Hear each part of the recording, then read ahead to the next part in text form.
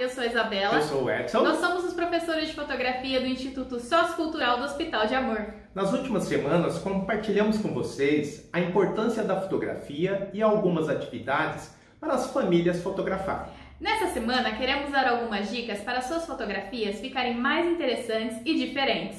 Normalmente, quando estamos andando, vemos algo que chama atenção e fazemos a fotografia exatamente onde estamos. Nossa dica de hoje é: que tal mudar a sua visão? Que tal fotografar em perspectivas diferentes? Então se preparem para andar, abaixar, pendurar, virar e escalar. Nossas dicas de hoje são: deixe a câmera fotográfica na altura do chão e veja como isso impacta na perspectiva da sua fotografia. Quando você se abaixa, você pode adicionar o primeiro plano na sua composição, além de mostrar todo o contexto na sua foto. Ao se abaixar, você também consegue mudar a maneira como as pessoas veem suas fotos, o que elas sentem ou, ou reagem ao ver os modelos fotografados de baixo para cima Sejam pessoas, animais ou objetos, podem parecer que são mais altos, imponentes e poderosos. Você pode se abaixar e olhar os sujeitos no nível deles, mas também você pode ficar mais alto e fotografar o seu modelo de cima.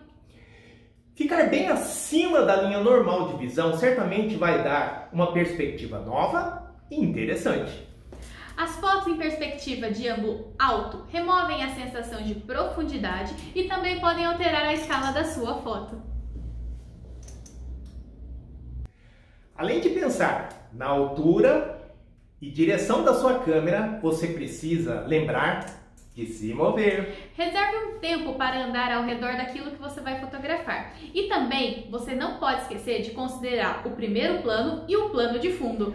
Mover os pés pode mudar a maneira com que diferentes objetos interagem a cada um dos outros na cena que será fotografada. Às vezes basta um pequeno passo para o lado para transformar uma fotografia completamente. Não caia na armadilha de fotografar tudo o que você vê sem pensar nas diferentes visões que aquilo pode ter. Separe um tempo para você explorar o seu modelo e a cena na qual ele está inserido. E lembre-se de mudar a perspectiva. E aí, Gostaram das nossas dicas de hoje? Compartilhe os resultados. Semana que vem tem, tem mais. mais.